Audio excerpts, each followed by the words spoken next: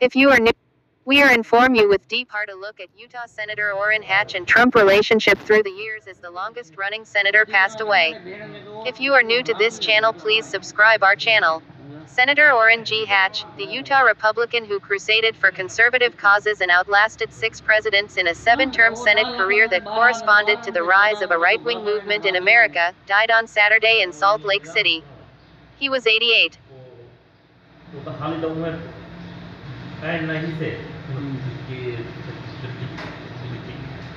जिल्ह्याच्या आढळण्यामध्ये